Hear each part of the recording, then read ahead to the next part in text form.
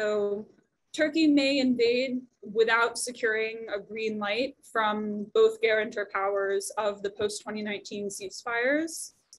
And if that happens, um, that will be devastating in humanitarian terms for the, for the displaced people on the ground. It will be devastating in security terms.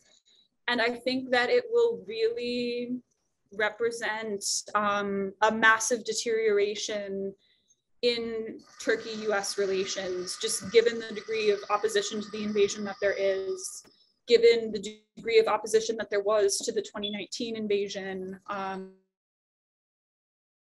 this would be for stability in the region.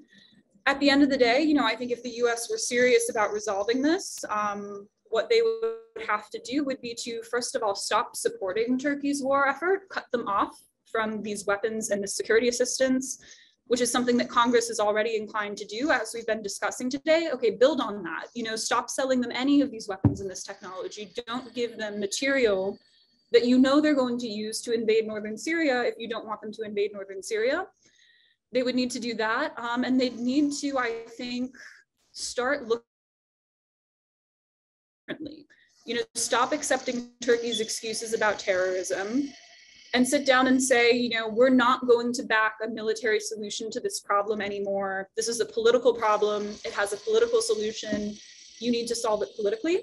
And I think that if the US were to do something like that, the steps that we'd have to see would be real criticism of the repression of pro peace political forces in Turkey, real pressure to um, you know, release all of the imprisoned HDP members, politicians, activists, you know, those tens of thousands of people we'd need to see um, pressure to stop criminalizing peace activism and dissent. Um, and we need to see a real reevaluation of the criminalization of the Kurdish movement. You know, the PKK has to be removed from the terrorism list.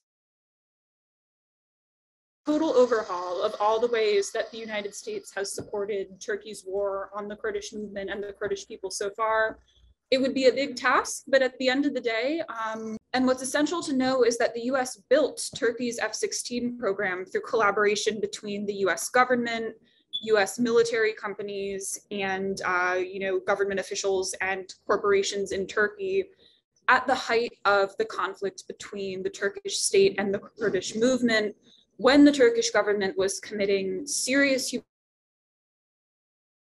own people largely with US weapons. And this was known in the United States at the time uh, to the point where Congress actually called for investigations and tried to restrict the sales of some weapons like fighter jets, like helicopters, those that were used in the most destructive human rights violations in cases of village demolitions and atrocities like these.